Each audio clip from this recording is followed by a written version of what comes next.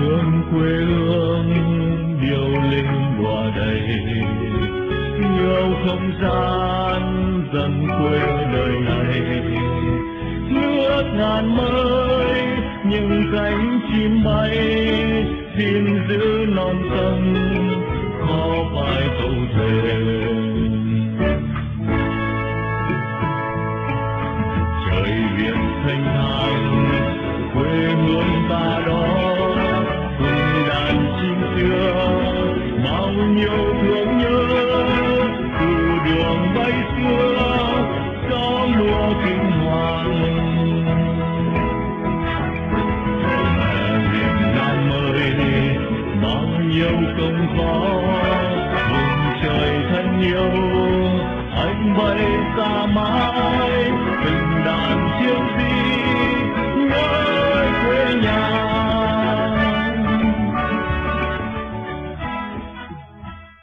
Vâng, chúng tôi xin được kính chào quý vị thính giả của Dallas Fort Worth cũng như quý thính giả trong và ngoài nước. Chương trình từ cánh đồng mây do nghệ sĩ Phan Đình Minh thực hiện sẽ bắt đầu trong giây lát. Khán giả đã, đang lắng nghe và theo dõi trực tiếp qua địa chỉ www.saigondallasradio.com hoặc bằng điện thoại với số điện thoại là 641 552 5042, 641 552 5042 vào mỗi thứ bảy hàng tuần tại Hoa Kỳ vào lúc 7 giờ sáng tại Cali, 9 giờ tại Texas, 10 giờ sáng tại Hoa Thịnh Đốn và 5 giờ chiều uh, chiều thứ bảy tại Paris và 10 giờ đêm thứ bảy tại Việt Nam. Hôm nay là ngày thứ Bảy, ngày 10 tháng 12 năm 2016, từ phòng ghi âm của Đài Sài Gòn Dallas 1600, từ diễn đàn tiếng nói tự do của người dân Việt Nam và được truyền đi khắp toàn cầu trên hệ thống Paul Talk. Để bắt đầu cho chương trình từ cánh đồng mây, xin được giới thiệu quý vị thính giả nghệ sĩ Phan Đình Minh. Chào Cúc Suy thân mến thưa anh. Dạ chào chú, và ngày hôm nay chú khỏe không ạ? Tôi uh, khỏe hơn nhiều là vì nhiệt độ tương đối đã ấm áp hơn uh, thưa anh Cúc Duy. Tuần vừa qua nếu anh uh, để ý những tin tức trên Internet, à, có ba tin chúng ta cần phải nhắc đến đó là tin thứ nhất, à, ngày mùng 7 tháng 12 năm 1941 đã xảy ra trận chân à, sâu cảng và thế giới đã thay đổi từ ngày này. À, tuần này cũng có ngày nhiệt độ đầu lập đông xuống tới âm 5 độ C. Lạnh thật anh ạ, hôm nay hỏi tôi có khỏe không thì hôm nay đã ấm nhiều rồi. Dạ vâng, thì ngày hôm nay với cái thời tiết bên ngoài vẫn còn đang rất là lạnh thì uh, con mong chú và cũng như tất cả quý vị uh, thính giả đang lắng nghe chương trình của chúng ta và cũng như của Đài Sài Gòn uh, có thật nhiều sức khỏe nha chú nha. Cảm ơn anh nhiều. và cái tin thứ ba anh uh, chắc anh cũng mới nghe đó là người Hoa Kỳ đầu tiên bay ngoài uh, vòng quanh uh, thế giới, vòng quanh vũ trụ. Ông uh, phi hành gia John Glenn mới qua đời đặc biệt mà đối với tôi à, tôi cũng được cái hân hạnh là những người à, ở trên cánh đồng mây à, như ngày hôm nay tôi nói chuyện với anh. Trong những ngày này không khí anh biết đón mừng lễ giáng sinh đang tràn ngập khắp thế giới. Nhất là những đất nước có có người tin theo Đức Giêsu Christ, nơi có các nhà thờ công giáo tin lành anh giáo hay chính thống, rộ lên những đèn sao lấp lánh, những hang đá to nhỏ. Dù là người nghèo hay giàu, người tin theo Đức Giêsu hay không tin Giáng sinh vẫn là một ngày hội, ngày hội tâm linh, ngày hội của toàn xã hội. Lễ Giáng sinh theo cái nhìn của con người và xã hội thuần túy thì đây là thời điểm hot, đây là cơ hội very good, tốt để ngoại giao, tạo thêm tình thân, hội để làm ăn buôn bán, dịp thuận tiện để mua sắm. Nói chung điểm cực trong xã hội về việc mừng lễ Giáng sinh thì ít, nhưng mà thực chất là dịp để những nhà kinh doanh dùng những chiêu lạ nhằm moi tiền của người thích ăn chơi, thích ham lạ thì nhiều. Đây là một thực trạng thật của một số người dân hiện nay mùa Giáng sinh về. Ở Nam, ờ, một nước theo ờ, chủ nghĩa cộng sản Nam vô, họ có đón ờ, những người cầm quyền hôm nay, họ có để cho dân chúng đón Giáng sinh như thế nào? Họ có để cho những người dân được đón Giáng sinh mừng Chúa về với tâm tình à, bình an như thế cho người thiện tâm hay không? Chương trình từ cánh đồng mây sẽ tâm tình về điều này. Với một cán binh cộng sản, ông đã từng xẻ dọc Trường Sơn. và đến gần nơi tôi chú đóng à, trong lúc tôi còn trong à, không quân ngày xưa nhiều lắm. Từ thành phố Dallas đã hơn một lần tôi nói chuyện với ông. Xin gửi lời chào đến mục sư Nguyễn Mạnh Hùng. Thưa nếu mục sư nghe được tôi ạ. À, à, xin uh, chào quý giả đang theo dõi chương trình của chúng mình đây. Xin uh, chào uh, nghệ sĩ Phan Đình Linh ạ. Tôi là sư Nguyễn Mạnh Hùng từ Sài Gòn, Việt Nam. Xin kính chào quý vị ạ. Tôi uh, rất được vui khi mục sư chào tôi từ thành phố Sài Gòn, Việt Nam. Sài Gòn, Việt Nam là một hòn ngọc viễn đông chứ không phải là một thành phố xác người. À, hiện nay ông ở thời tiết như thế nào bên tôi đang lạnh lắm thưa mục sư 2 độ C mục sư ở Sài Gòn tốt không thời tiết tốt không Dạ thưa quý khán giả thưa Phan Đình Minh thì thời tiết của Sài Gòn lúc này cũng uh, nóng nóng nực nhiều nhưng mà cũng uh, thỉnh thoảng cũng có những cái cơn mưa thành ra và cũng uh, mát mẻ hơn cũng tương đối với trời Tôi rất là cảm thấy vui khi ờ, Duy người phụ trách kỹ thuật, uh, kỹ sư uh, phụ trách kỹ thuật cho chương trình từ cánh đồng mây liên lạc được với uh, mục sư dễ dàng. Uh, đường dây uh, vào Hà Nội uh, tối hôm nay tôi không biết là người ta có theo dõi uh, cái số điện thoại của tôi hay không? Không gọi được. Uh, dĩ nhiên tôi có một người bạn uh, cũng đã 60 mấy tuổi đảng, cũng đã lớn tuổi và hôm nay bãi mừng uh, mừng lễ sinh nhật của bãi. À, tôi à, muốn gửi lời chúc mừng uh, sinh nhật uh, 85 tuổi đến uh, cụ bà đảng viên Đảng Cộng sản Lê Hiền Đức. bà già và người cộng sản gọi bà là bà già mất đức tôi chúc cho cụ được nhiều uh, nhiều điều hạnh phúc và nhiều sức khỏe trong những năm tới thưa mục sư nguyễn mạnh hùng và trong phần uh, giới thiệu với ông với tất cả mọi quý khán giả đang nghe chương trình này À, tôi nói ngày hôm qua ông là một cựu can binh cộng sản sẽ dọc trường sơn vào giải phóng miền nam và đã đến chiếc khu đề gần tôi lắm à, những ngày à, tháng đã đi qua những mùa giáng sinh đã đi qua có lẽ là Tôi không biết phải ngày xưa ông có phải là con cái Đức Chúa Trời hay không? Từ khi ông trở thành một người con cái Đức Chúa Trời có mùa Giáng sinh là vui nhất. Và trước khi ông trở thành con con cái Đức Chúa Trời có một à, có mùa Giáng sinh nào ông buồn nhất, ông đau khổ nhất khi nghĩ đến cảnh anh em Nam Bắc một nhà đánh nhau giết nhau. Thưa mục sư Nguyễn Mạnh Hùng. À, dạ thưa quý uh, khán thính giả đang theo dõi chương trình và thưa ờ, uh, Phan Đình Minh. Thì, ờ, uh, nếu nếu mà nói là là, là, là giải phóng miền Nam thì cái thời điểm trước á chúng tôi trước năm chín bảy năm là những cái thời điểm trước chúng tôi còn tôi cũng chưa nhận thức được nhiều về cuộc chiến tranh về về và ở một chín bảy năm vừa qua nên là người ta dùng cái từ giải phóng miền Nam nhưng sau này tôi thấy được là thực sự mà nó không phải là giải phóng miền Nam. Ở đây chẳng qua là cái cuộc uh, nội chiến trong nước giữa người miền Bắc và người miền Nam để tranh giành quyền lực thôi.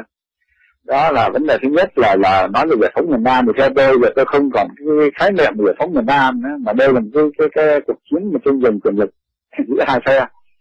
Và vấn đề thứ hai nữa thì đối với tôi thì ngày xưa là, là thì à, chắc cứ đức giả và anh thì cũng biết rồi sống ở chế độ miền Bắc là chế độ cộng sản vô thần thì ra là cái vấn đề mà nói về tin để nói về các cái đạo mà nhất là những cái đạo thờ thượng thờ thờ tượng thiên chúa thì ở ngoài bắc rất là mệt mỏi và rất là khó khăn. Thế thì sau khi vào nam này rồi thì là đúng ra thì cái trường hợp của tôi tôi đến với chúa là trong những cái cái cái, cái hoàn cảnh nó cũng uh, tức là tôi bị là nhà, nhà nước bị chế độ bài đẩy dần một con đường cùng. Như vậy là trước kia thì tôi là một giáo viên vùng sâu vùng xa cũng uh, gom góp tiền lương mà anh biết là cái thời kỳ bao cấp năm tám mươi mấy rồi tiền lương ba cọc ba đồng ấy là là khổ lắm. Gom góp lên trên này thì mua được cái miếng đất ở trên này rồi sau đó từ năm 1994 là bị người ta giải tỏa ta cưỡng chiếm thế là là người ta gồm tôi, tức là người ta dùng cái bạo lực, dùng công an, rồi là người ta uy hiếp tinh thần, khủng bố tinh thần nhiều năm, từ năm 96 đó, rồi tới nhiều năm đó là là hàng chục năm đó là người ta dồn, người ta đẩy ra vào đường cùng, đi khiếu kiện thì không cho đi đi biểu tình, đòi đất, đòi nhà thì không cho đi, đẩy dồn nó đón đường cùng nhiều lúc thì bản thân tôi tôi nghĩ là mình con mình được tới con đường cùng. Tức là người ta đẩy cái gần cái đường cùng không còn gì để mà sống, để mà mất nữa thì tới lúc đó thì tôi cũng được à, con cái chúa cũng một sư cũng đây và làm chứng với tôi tin chúa. Và là tôi từ khi tôi tin chúa thì tôi cũng thấy được đó là mình cũng bớt đi cái phần nào cái cái cái à, nỗi lo toan tức là mọi cái tình yêu thương của uh, đức kitô. Đó thì ngài bởi cái tình yêu thương của ngài thì và và bởi lời của ngài dạy dỗ. Thành ra là tôi dần dần nên là tôi cũng bớt nuôi đi tức là cái cái cái cái cái, cái, cái giảm bớt đi là cái cái sự hận thù và cũng cảm thấy được là thế thì những cái đó thì cũng là cái niềm an ủi để cho mình tiếp tục mình sống để mình uh, quay mình trở về mình thờ phượng Chúa. Thì là cũng uh, thưa quý khán giả thưa anh thì từ đó thì bắt đầu từ năm 2009 thì tôi bắt đầu mới chính thức đi vào con đường thờ phượng chúa và hầu chúa. Thế thì tôi thấy là đối với cái thời điểm mà sau năm 1975 á những lúc tôi chưa tin Chúa Giêsu thì tôi cũng thấy những cái uh, những cái buổi Noel thấy những cái nhà thờ thì nói chung là ở cái thời điểm ờ, cũng là còn vui vẻ. Nói nói chung là cái vấn đề mà đàn áp tôn giáo nó cũng chưa có gây gắt như sau này. Nhưng mà từ khi cái thời điểm mà Việt Nam bắt đầu là mở cửa khi mà thời gian Việt Nam mở cửa thì là cái tin về vấn đề tôn giáo tôn giáo thì cũng tràn vào Việt Nam. Nó là cái phong trào tôn giáo thì càng ngày là càng phát triển mạnh hơn. Thì khi vừa nó nhân hướng phát triển mạnh hơn thì lực bị cái đàn áp sự đàn áp rất là khốc liệt. Thành ra là những cái uh, kể từ cái uh, những cái thời điểm năm chín chín mươi mấy trở lại tới đây thì là các cái buổi lễ giáng sinh là hầu như là nằm tất cả là nằm trong cái sự kiểm soát của nhà cầm quyền tại Việt Nam. Thế cho nên là là những cái buổi mà thờ phượng lễ giáng sinh và các cái bài giảng nó không còn như ngày xưa nữa. À, cái cái cái không khí của ngày lễ giáng sinh bây giờ ấy, nó nằm trong cái cái, cái sự gò bó nằm trong cái sự uh, là kiểm soát của nhà cầm quyền cộng sản Việt Nam thành ra là nó mất đi những cái cái cái, cái, cái, cái tình yêu thương cái tự do cái thực sự của của của những cơ đốc nhân Việt Nam à.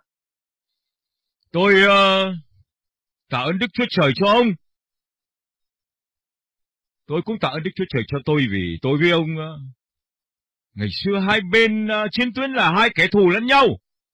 Tôi có bao giờ tôi nghĩ tôi thù mục sư Nguyễn Mạnh Hùng không? Không có. Tôi có nghĩ là tôi giờ tôi thủ những người anh em xẻ dọc Trường Sơn và miền Nam không? Không có. Nhưng người ta đã gieo cái tâm tình, gieo cái ác đó vào trong đầu ông, trong đầu tôi. Để ngày hôm nay mình tạo Đức Chúa Trời là vì ông với tôi vẫn còn ngồi đây để nói được câu vinh danh Thiên Chúa trên trời. Bình an như thế cho người thiện tâm. Nơi ông sống những người bạn với ông, những người dân với ông thiện tâm nhiều lắm đấy. Ngược lại dòng uh, lịch sử 2016 à, năm về trước theo theo lịch đi. Thời đấng mà ông tin vào, thời đấng mà tôi tin vào ra đời. Xã hội lúc đó đã khốn nạn lắm rồi. Những người thầy tu, những người dòng, những người áo tu áo dòng. Chính là những người tố cáo và đóng đanh Đức Giêsu người mà ông tin, người mà tôi tin. 2016 năm sau, cũng chính vào chiêu bài giải phóng miền Nam chúng ta sẽ xây dựng lại 10 lần, 10 lần tốt về trước. Có thể xã hội uh, trong miền Nam chúng tôi ông uh, ông vui lắm, ông thích lắm là vì ánh sáng miền Nam sáng hơn ánh sáng miền Bắc mà. Ông có hạnh phúc, ông có bình an. Nhưng cho đến ngày hôm nay lấy Giáng sinh, ông đâu có được tốt hơn 10 lần về trước đâu, ông đâu có được đâu. Ông nói chuyện ông mua được một miếng đất. Tức là nói chuyện đến dân oan đây, cướp đất đây. Ngập cả nước mà. Cái tình trạng những người dân oan như ông, những người khốn nạn cuộc đời như ông, như mục sư Nguyễn Mạnh Hùng, Bây giờ nó còn kéo dài đến bao lâu và nó còn kéo dài không thưa thưa mục sư Hùng?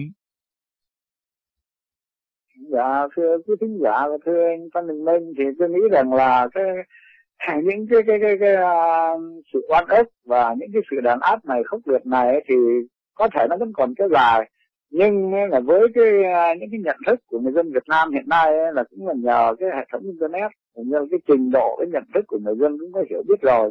Và nhất là chúng ta nhìn thấy là trong khoảng 10 năm trở lại đây là cái phong trào đấu tranh dân chủ à, mặc dù nhà cầm quyền cộng sản, người ta càng bắt mới, người ta càng là nát bao nhiêu thì phong trào lại càng dấy lên bấy nhiêu. Thành ra là tôi nghĩ là với cái nhận thức và cái hiểu biết của người dân hiện nay sự dẫn thân của người dân hiện nay thì người dân rất ý thức được cái vai trò trách nhiệm cái, cái, của một người dân đối với một quốc gia đối với một dân tộc đất nước và đặc biệt là đối với các thế hệ con cháu mai sau. Thì tôi nghĩ rằng là cái thời gian nó thì chắc cũng không còn lâu nữa đâu.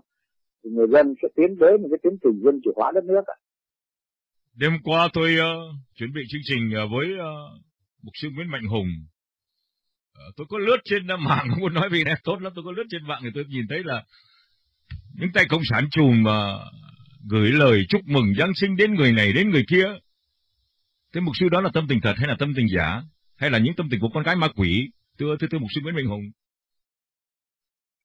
À thì à, thưa quý khán giả và thưa anh à, Phan Đình Minh, thì cái này thì chắc có lẽ tôi nghĩ là quý khán giả và người đang theo dõi chương trình cũng đã rất nhiều cái cái cái, cái, cái, à, giọng điệu và cái cái cái ngôn từ của nhạc cầm quyền Việt Nam cộng sản Việt Nam rồi. Thì nói chung ấy, là người ta càng đàn áp thì nhưng mà bằng cái hành động việc làm người ta đàn áp nhưng mà cái miệng thì người ta vẫn nói nhân từ. Cho nên người ta chúc mình dẫn sinh thì có thể là người ta thì chắc có lẽ tôi nghĩ rằng là quý thính giả và anh Thanh mình nên tức là quý vị cũng đã biết được á là là đối với tất cả từ sau cái sự kiện năm 1975 đó, thì nhiều những cái tôn giáo uh, chân truyền những cái tôn giáo uh, những cái ờ, tôn giáo uh, mà chân truyền từ trước 1975 với sau này là bị đàn áp rất nhiều bị giải tán rất nhiều và người ta giải tán người ta thay thế vào đó là những cái uh, tôn giáo những cái giáo hội mà là ở trong nước gọi là giáo hội kinh doanh. Tức là do nhà do đảng cộng sản do lãnh đạo và người ta cài cắm người vào trong đó để người ta lèo lái à, cái các cái tôn giáo đó theo như cái cái cái cái, cái, cái đường lối của, của vô thần của nhà cộng sản. Thành ra là tôi nghĩ rằng là người ta tới thăm và người ta có lời chúc tết chỉ đối với những cái giáo, những cái giáo hội những cái, cái cơ sở kinh doanh thôi.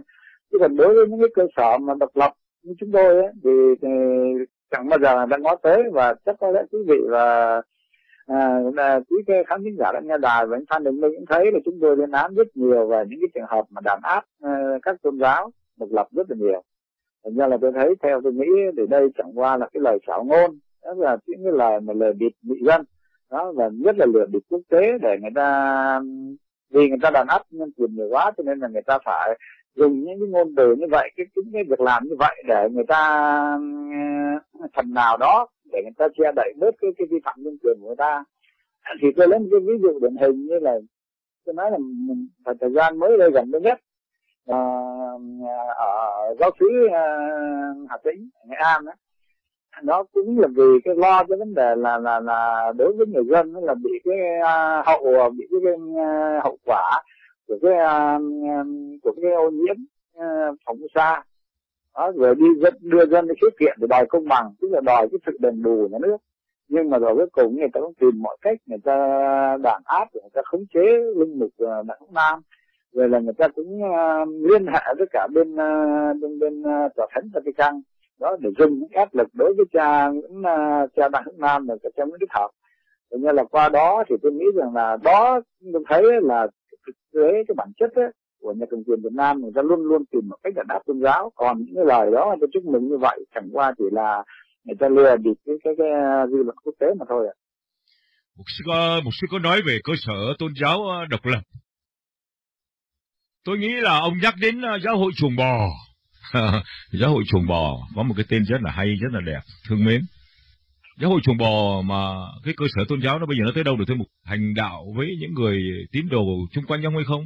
Ông có được di chuyển dễ dàng trong cái niềm tin của ông như ông vừa mới nói về cha linh mục đặng hữu nam? À, linh mục đã lên chương trình này một hai nói về cái sự khắc nghiệt à, đối với linh mục như thế nào? Và tôi cũng đã mời à, một sư à, Nguyễn à, Mạnh Hùng lên chương trình này một hai lần. Có những lúc ông đang à, bị à, bị đuổi bị đánh ngoài đường trên xe Honda tôi gọi tôi nói chuyện với ông mà. Cháu hồi trùng bò bây giờ tới đâu rồi? Tôi mục sư Nguyễn à, Nguyễn Mạnh Hùng dạ thưa quý à, khán uh, giả và thưa anh Phan Đình Minh thì cái uh, thánh sườn bò thì nói chung là bây giờ là gần như là bị ấy là người ta khủng bố tinh thần đối với uh, các tín đồ rồi là các cái chấp sự trong hội thánh này. Như là bây giờ không ai dám tới nữa không ai dám uh, sinh hoạt nữa. Hình như là cái giáo thành ra cái hội thánh sườn bò là bây giờ ấy là cũng có thể phải nói như là coi như là, là không còn sinh hoạt được nữa coi như là tan tác chỉ yếu bây giờ chỉ cầu nguyện tại gia đình thôi. Nó thì từng gia đình một nhóm một là lại cầu nguyện thôi. Và đối với bản thân tôi thì chắc có lẽ quý vị cũng thấy là tôi cũng đã tố cáo rất là nhiều trên uh, mạng internet và đặc biệt là trên facebook của tôi ấy. là cái sự ngăn chặn ngăn cản của người ta là người ta ngăn cản rất là khốc liệt. Đó người ta tìm mọi cách người ta đứng phá để không cho ai tới được cái uh, nhà tôi cầu nguyện hòa thờ phượng ở đây. Thì bây giờ đối với tôi, bản thân tôi cũng chỉ còn cầu nguyện trong gia đình thôi. Thế còn cái hội thánh trùng bò thì là bây giờ là cũng không còn tổ chức được nữa. Kể cả giáng sinh năm nay sắp cái mùa giáng sinh rồi, nhưng mà cũng không còn cơ hội để mà tổ chức được nữa. Thì chúng tôi vẫn chỉ có anh em tới nhà nhau để cầu nguyện mang tính chất gia đình thôi, chứ còn không còn giữ được cái hội thánh, cái điểm thờ phượng chúa như ngày xưa nữa. Dạ, Đảng cộng sản ờ, nơi mà đã có lần tôi tôi không biết là ông, ông mục sư có phải là đảng viên đảng cộng sản hay không Nhưng đã có lần ông có phải ông đã phải vì cái đảng này nó bắt ông ông súng đi ờ, đi vào miền Nam. Ông biết là bây giờ cũng biết là tôi cũng biết là đảng cộng sản ờ, nó sợ những tôn giáo có tổ chức như công giáo, Phật giáo hay tin lành lắm. Vì nó cho rằng các tôn giáo này đang cạnh tranh và đối lập với tôn giáo chính trị cộng sản. Cái điều suy nghĩ của tôi có đồng ờ, ý đồng cảm với ông như vậy hay không thưa mục sư Nguyễn Mạnh Hùng? Dạ, dạ thưa um, quý thính giả và anh Văn Đình Minh thì đúng rồi đấy. Bây giờ người ta đang phải nói là người ta cạnh tranh. Cái cái cái à, những cái giáo hội cơ sở mà tôn giáo của nhà nước cộng sản quốc doanh là người ta đang cạnh tranh với lại các cái cái cái, cái à, giáo hội độc lập đúng hơn. Là vì những cái giáo hội độc lập ở trong này là có trước còn sau này người ta mới tìm cách cho tiêu diệt các cái tôn giáo độc lập đi để người ta xây dựng nên các cái, cái, cái tôn giáo quốc doanh và người ta đang tìm mọi cách người ta lôi kéo những tín đồ của các cái tôn giáo độc lập và tôn giáo quốc doanh. Thành ra là mình phải nói là người ta cạnh tranh với mình người ta kèm cựa người ta chỉ vào quyền lợi quyền lực của người ta quyền lực trong tay người ta pháp luật trong tay người ta để người ta giành giật tín đồ của mình. Nói về sự giành giật nói về sự o ép có thể nơi uh, mục sư đang uh, sống bây giờ. Ông phải chịu những o ép khốn nạn o ép đau khổ của một người dân rồi xứ mà có hiến pháp nói là con người có quyền tự do tôn giáo nói về o ép những người trong nước họ không o ép chương trình từ cánh đồng mây của tôi với ông được đâu Tôi uh, nói chuyện với mục sư cũng như tất cả những người khách mời quý mến của chương trình này. Chưa bao giờ tôi ra giá một đồng bạc nào ông phải trả cho tôi để ông được lên nói với toàn cầu cả.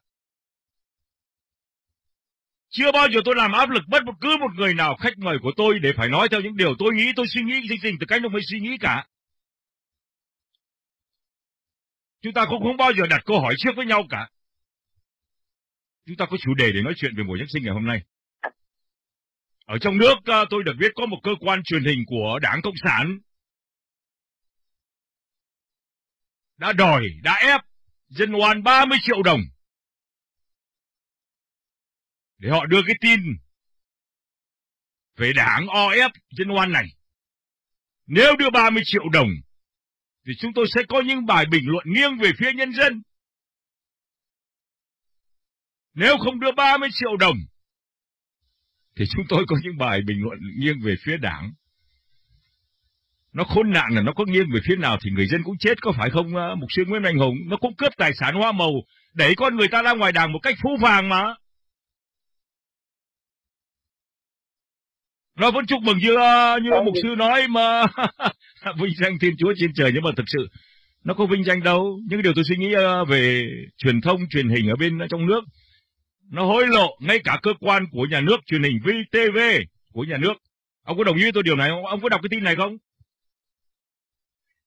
Vâng à, đồng ý với anh thì đúng là như vậy. Tất trung thì là người ta cũng dùng những cái tin để người ta người ta cũng phản bác cho tôi nhỏ thì những cái tin đó thì, thì cũng biết mà tôi cũng ít coi cái thời sự cái chương trình thời sự của người ta.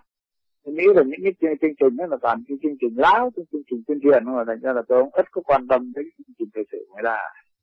Thưa mục sư ờ, biết, uh, mục sư vẫn theo dõi mỗi tuần tôi gửi về mục sư biết chương trình. Chúng tôi liên lạc với tất cả những người dân ờ, quý mến ở trong nước. Một có mục sư, có những đảng viên đảng cộng cộng sản cao cấp, công an, còn đang ngay tại chức nữa. Cái tâm tình thương mến đó cho mục sư thấy là chúng ta là người Việt Nam giàu là con cái Đức Chúa Trời hay bất cứ một tôn giáo tôn giáo nào trong nữa, luôn luôn chúng ta có cái tâm tình quý mến nhau, thưa mục sư. Cái sự tin tưởng vào vào vào vào vào đấng một đấng nào đó, nó tốt hơn là tin tưởng vào một cái xác chết nào đó. Cách đây à, một mà mấy ngày, chắc mục sư cũng nghe là ở bên à, xứ Cuba bố gì đó. có thằng trùm cộng sản nó mới chết. Người ta khóc lên như cha chết vậy. Tại không sao không nhìn xa con mắt hơn một chút. Thấy đấng đã tạo dựng nên trời đất này để mà tin vào.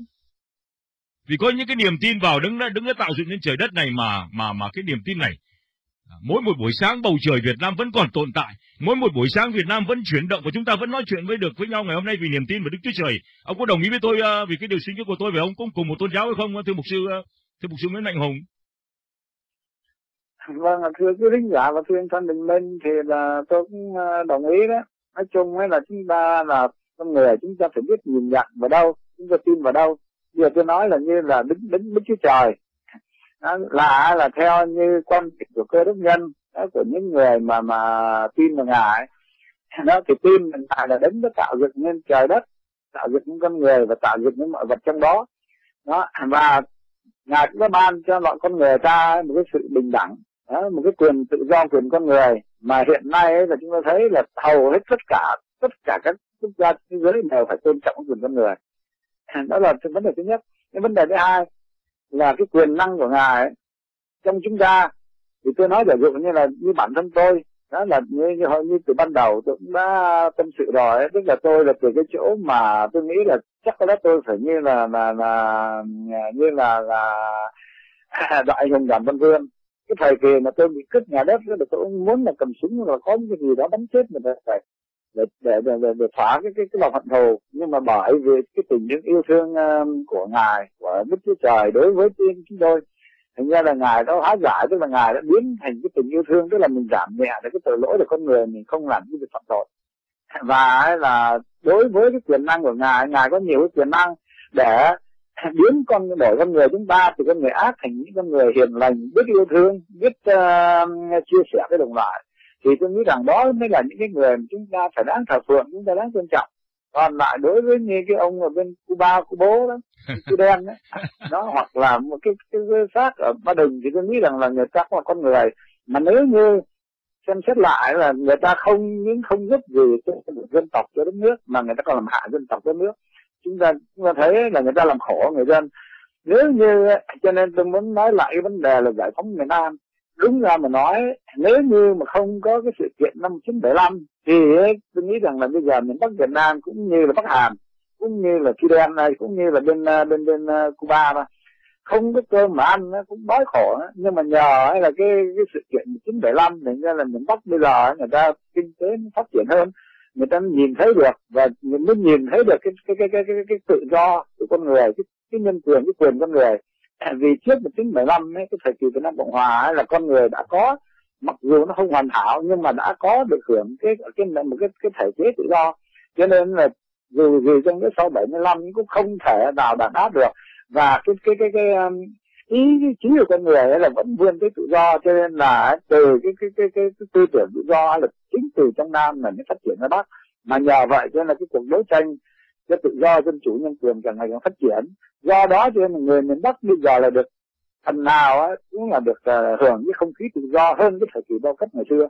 Cho nên tôi thấy rằng là nhờ cái cái qua cái sự kiện 1975 ấy mà người miền Bắc được nhiều được rất nhiều hơn là người miền Nam. Nên là tôi tôi thấy rằng là cho nên chúng ta mới thấy là đối với những cái người lãnh đạo như vậy mà người ta không những không giúp dân đất nước, không phát triển đất nước, mà là còn hại dân, hại nước ta bon bòn gót người ta gọi bòn mót gom của cải của tài sản của quốc gia. Rồi người ta tìm mọi cách, người ta cướp bóc tài sản của người dân để người ta đem đi, người ta làm giàu cho người ta. Và hiện nay người ta đưa con cái người ta ra nước ngoài. Thì tôi thấy là những con người đó không đáng để chúng ta thờ phượng, không đáng để chúng ta cho chúng ta tôn kính. Mà những người đó là những cái người mà chúng ta là là là khinh bỉ người ta ở những người đó. Con người ở trên uh, trái đất này không có ai cần thiết để cho mục sư với tôi thờ phượng đâu. Nếu có kính cha kính mẹ là những người thân sinh ra mình. Ông có nhắc đến uh, cái việc ờ, tôi cũng con người như như mục sư vậy tôi nhắc đến là có lúc mục sư muốn cầm súng bắn cho vài thằng. Ngày xưa à, lúc tôi còn đọc cái câu à, nghe nó cũng đúng đấy nhưng mà nó không đúng đâu. À, đúng là câu là kẻ thù ta cũng chỉ là người à, giết người rồi ta ở với ai. Nhưng mà nếu mà cần giết đi một à, vài ba người cần bỏ đi một cái đảng cho trăm họ được nhờ thì cần làm đến mục sư. Nhật sư có nhắc nhiều đến chữ tự do hạnh phúc bình đẳng. Tôi à, nhớ mùa Noel cách đây là mùa Noel thứ hai, một người tôi coi như người em vậy, thân mến vậy. Cũng đã lên chương trình này rất nhiều. Cũng đã được đi Mỹ này và có thể ở Mỹ này lại rồi, thành công rồi. Luật sư Nguyễn Văn Đài. Nó bắt ờ, uh, buổi Giáng sinh năm nay là buổi Giáng sinh thứ hai, nó không xử. Ờ, nó, nó nhốt vào nhà kho. Không cho nói. Mục sư có nói về cái việc mà miền Nam tự do dân chủ giải phóng miền Bắc. Điều đó đúng đây, đúng đây. Nhớ lại những ngày trước uh, gần năm 1975 đi, nhạc vàng trong Việt Nam, tâm tình, yêu thương tốt lắm thưa thưa mục sư, nó cấm mà. Năm năm sau thôi. Nhạc vàng của miền Nam trải rộng ra miền Bắc, trải rộng ra một màu vàng, màu da vàng của dân tộc. Ông uh, ông có nhắc đến chuyện là phổ mô sa, ông có nhắc chuyện đến linh mục uh, ờ, đặng hữu nam, cũng nhắc đến chuyện là linh mục Nguyễn Đình Thục, Trần Đức Lai.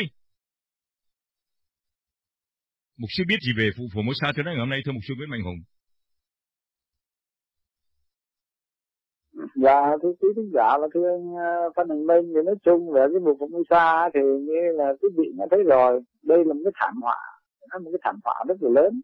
Nó không chỉ là trước mắt à, đối với người dân à, bốn tỉnh miền Trung, nhưng mà nó còn là là, là cái uh, hậu quả nó còn kéo dài. Vì như chúng ta biết đó, ở bên uh, Nhật để tẩy rửa những cái chất độc là người ta phải mất hết 50 năm. Đó thế bây giờ đối với Việt Nam chúng ta là trải dài một cái vùng biển miền Trung như vậy là bị ảnh hưởng ô nhiễm rất là nặng. Nó lại thêm cái điều nữa là đối với người dân Việt Nam chúng ta là những cái người là, là những cái người mà kinh doanh mua bán thì người ta lại cũng không có lương tâm. Những con cá bị chết hải sản bị chết về về vì vì những cái, cái, cái nhiễm độc đó. Người ta lại đem làm nước mắm rồi người ta đem chế biến thực phẩm gia súc để nuôi gia súc. Rồi cuối cùng là cũng là tại người dân Việt Nam Hải Việt Nam. Mà cái hiện tại trước mắt chúng ta thấy là đối với người dân vùng biển tức là các ngư dân ấy, là người ta không người ta mất đi người ta không còn cái nghề nghiệp để mà làm ăn sinh sống. Rồi đối với những người mà buôn bán hải sản rồi những cái chuyến chuyến uh, tàu đến cá về là bây giờ cũng không có mất việc làm không có việc làm.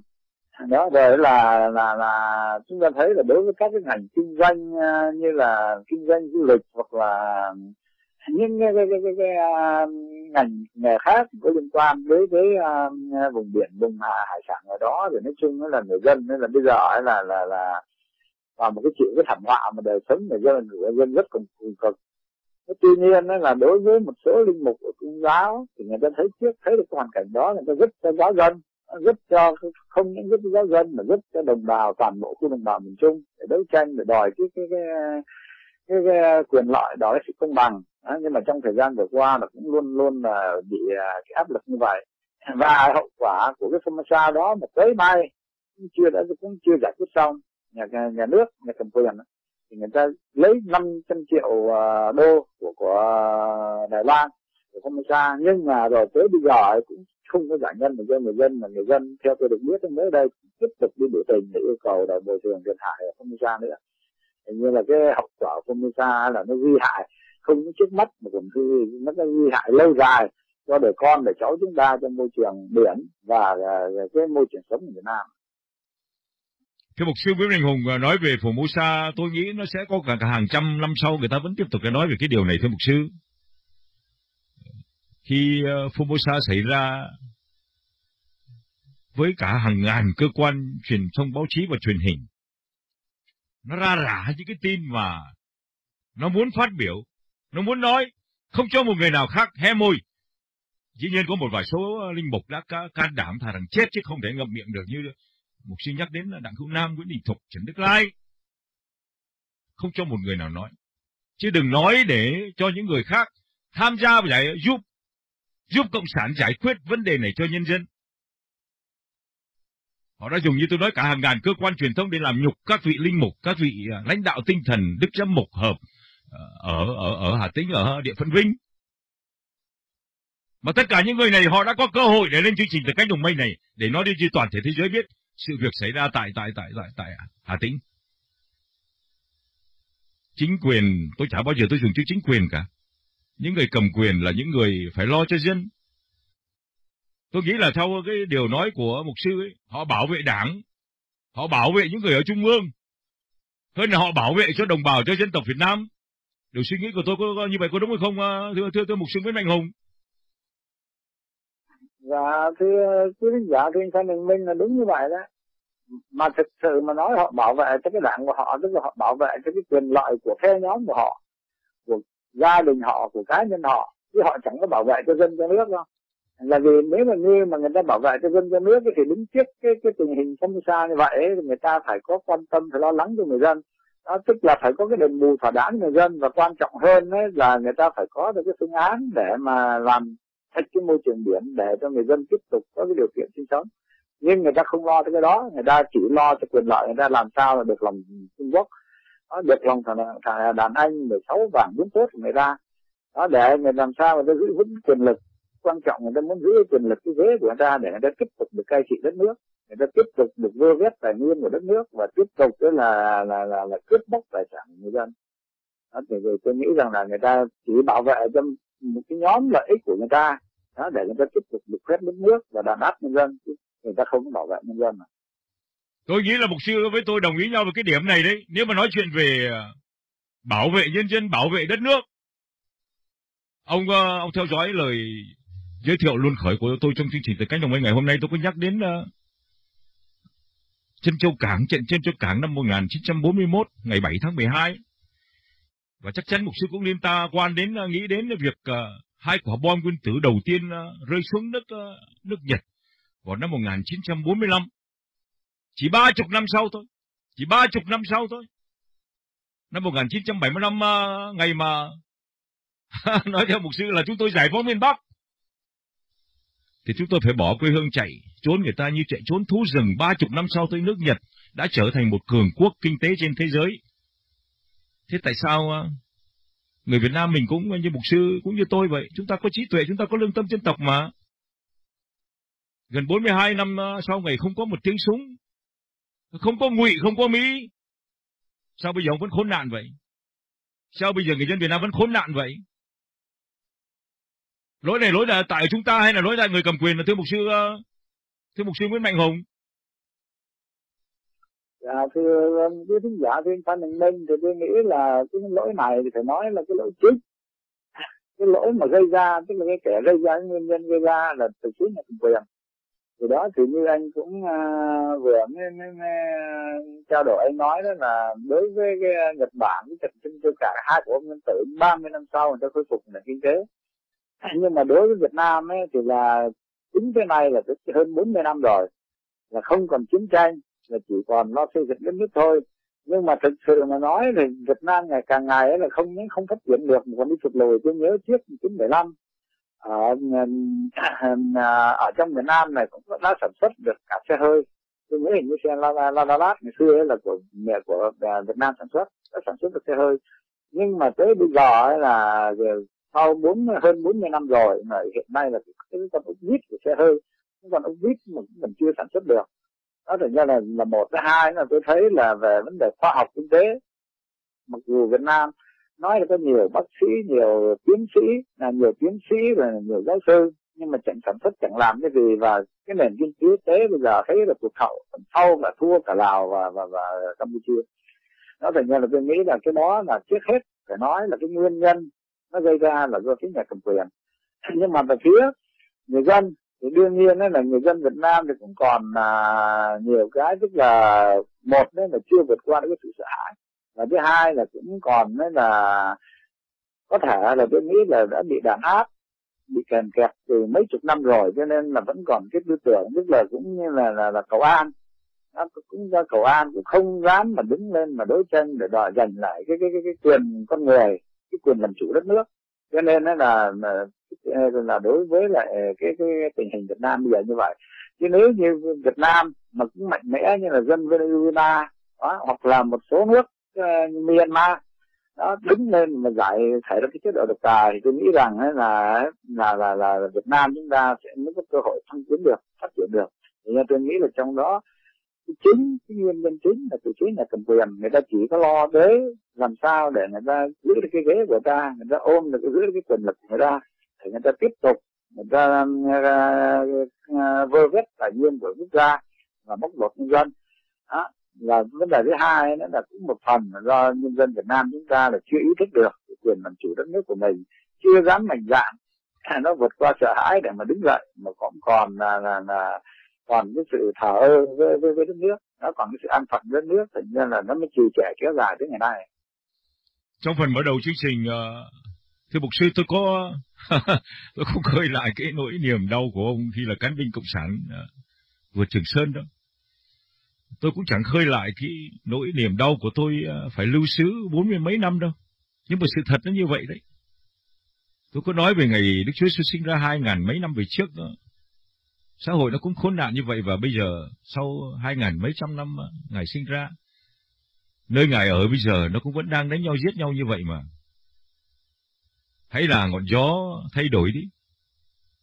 Có lẽ chương trình từ cánh đồng mây ờ, với mục sư ờ, với những tất cả những người thân mến của chương trình này là những ngọn gió đang thay đổi đấy. Cái lòng của ông ờ, tốt lắm. Cái sự tin tưởng của ông vào đấng thượng đế rất là điều mừng. Tôi mừng cho ông và cho gia đình. Chúng ta đang vào những giây phút chót của chương trình từ cánh đồng mây ngày hôm nay. À, tôi muốn dành cái cơ hội đặc biệt này của mùa giáng sinh năm 2016 để mục sư gửi đến tất cả những người Việt Nam trên toàn cầu lời chúc à, vinh danh Thiên Chúa và bình an như thế thưa mục sư à, mục sư Nguyễn Mạnh Hùng. À, thưa um, quý thính giả đang theo dõi chương trình và thưa anh uh, Phan Đình Minh cũng uh, nhân dịp cái mùa Giáng sinh 2016 năm nay tôi cũng uh, rất là vinh dự được anh uh, cũng uh, cho tạo cho cái cơ hội để cùng được chia sẻ thứ nhất chia sẻ về cái cái cái cái, cái, cái uh, nỗi lòng cũng như là cái sự băn khoăn về hiện trạng đất nước. À, và thứ hai là cũng là nhân cái dịp mùa Giáng sinh năm 2016 năm nay. Đó thì tôi cũng uh, là một cơ đốc nhân là một con cái Chúa một người hầu của Chúa phục sự cho công việc của Chúa. Thì chúng ta thấy thì tôi cũng là một con người là là thập thuận Chúa Giêsu anh cũng là cái người thập thuận Chúa Giêsu mà tôi tin rằng trên thế giới này cũng đang có hàng tỷ người là thờ phượng Chúa Giêsu chúng ta thấy được. Chúa Giêsu ngài đã đem lại cái sự bình an cho chúng ta đã đem lại cuộc sống cho chúng ta. Và là trong cái mùa Giáng sinh năm nay ấy, thì cũng à, tôi cũng à, xin cầu chúc cho tất cả à, tất cả các con dân của Chúa trên khắp trái đất này. Và kể cả những anh chị em thân hữu không phải là con dân Chúa những người đang sống trên trên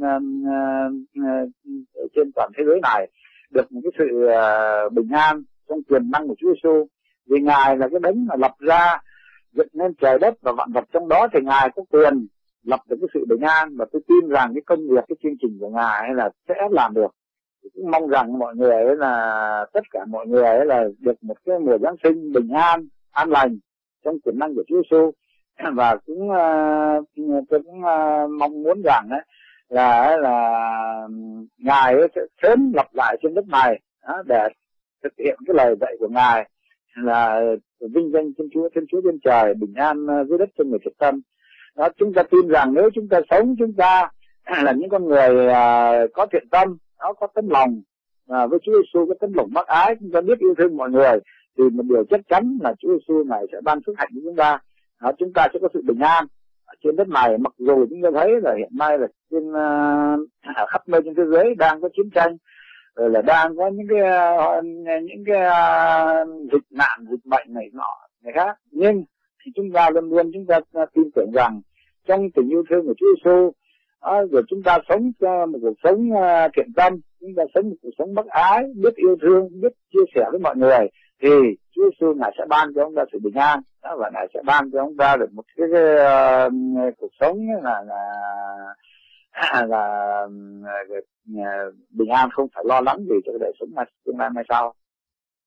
Thì qua cái chương trình này thì uh, cũng uh, qua uh, quý uh, đài và chương trình thì cánh đồng mây thì tôi cũng xin lời gọi là chào tất cả các quý vị và mong là và chúc quý vị một uh, mùa giáng sinh Ờ, thật là vui vẻ bình an và hạnh phúc và cũng nhân dịp cuối năm thì cũng xin chúc uh, tất cả uh, quý thính giả đang nghe đài và tất cả mọi người trên thế giới hay được một năm uh, bước sang năm mới 2017 là một năm an khang thịnh vượng và đạt thành đạt được những ước mơ trong cuộc sống. Thưa mục sư Nguyễn Mạnh Hùng à, vì có niềm tin, ông dùng cái chữ niềm tin nhiều lần lắm. Tôi cũng như ông vậy.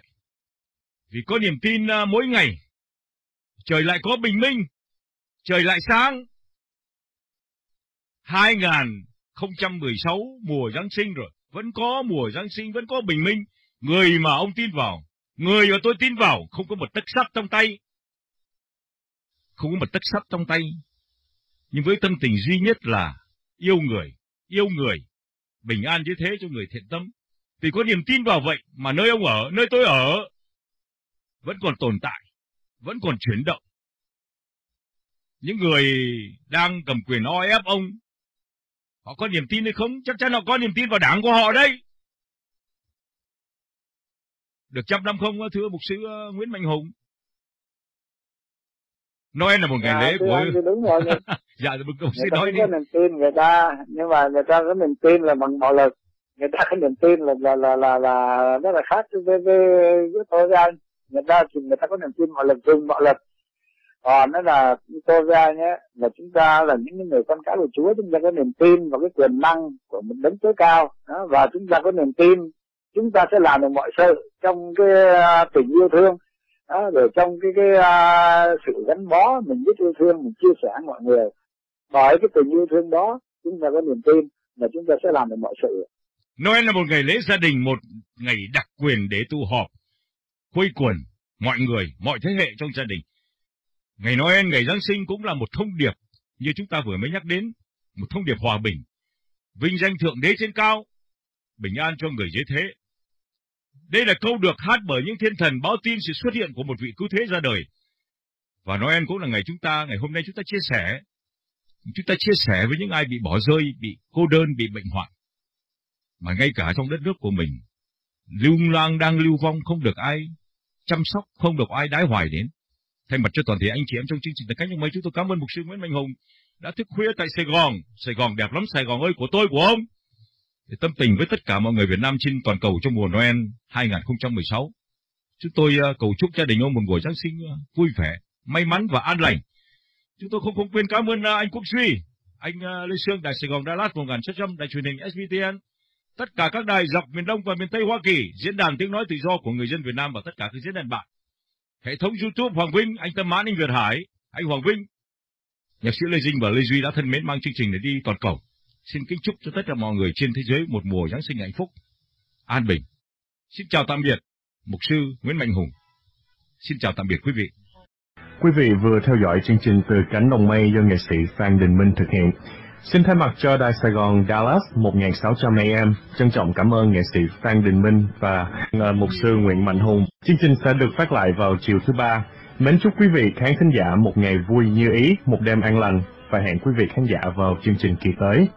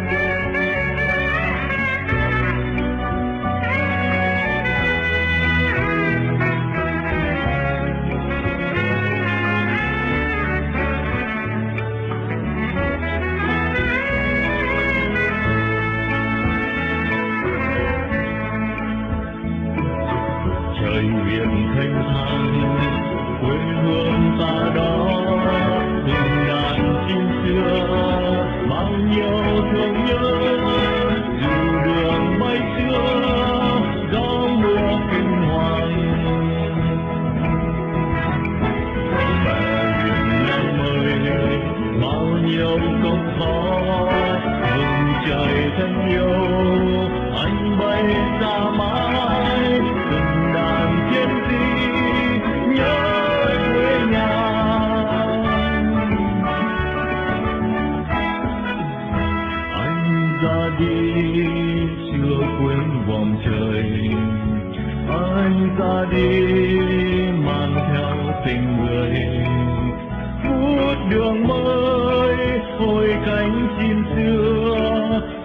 khắc trong tim, bao nhiêu ân tình. Anh ra đi luôn mong một ngày, mang quê hương qua cơn đọa đầy. Khắp ngàn phương